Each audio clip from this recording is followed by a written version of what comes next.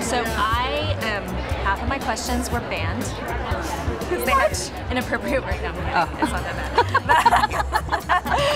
Hillshire Farm or Hillshire Farms? Farm. I did not know that. I did not know that either. I've always said Hillshire Farms, plural. I did not know that till I ruined I don't know how many takes trying to film these commercials because I kept saying farms. But I remember the old Hillshire Farm campaigns yes. from the 70s. Right. Perhaps you can sing it with me. When it's Hillshire, eating's nice.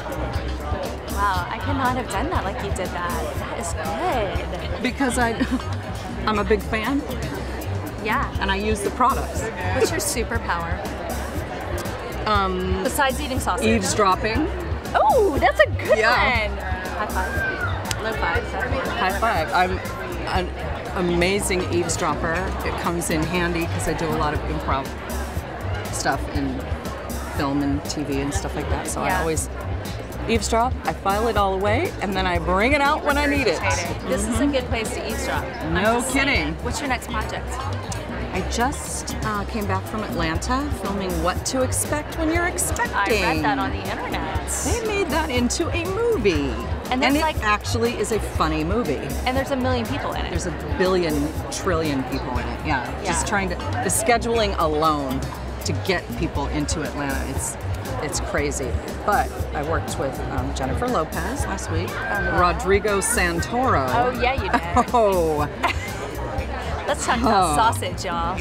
oh, let, let's not, Okay. it's too, Okay, sorry. it's too much. Too- it's, it's too- overwhelming. too- Chris too Rock. soon?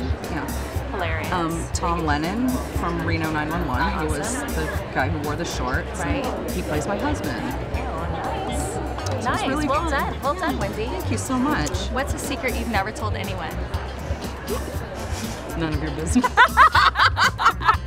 And a secret I've never told anyone. Wow, I thought, and, and you think now would be the time I for me to think- I divulge? think in the Hillshire Farm booth at Blog Her. Let's This see. is the, What? This is the moment. When I was a child, I really thought I was going to be a jockey when I grew up. Like Kentucky Derby. Yeah. You're a little tall. And by the that time. I got out of the third grade, I was too tall. And my dreams were dashed. Okay, it was super nice to meet you. Nice to meet you. I want to give a Hillshire Farm shout out to raven haired beauty Laura Mayes from thequeso.com. Laura, I had so much fun talking to you yesterday. Thanks for bringing up my first boyfriend, Bubba. I hope I can do the same for you someday.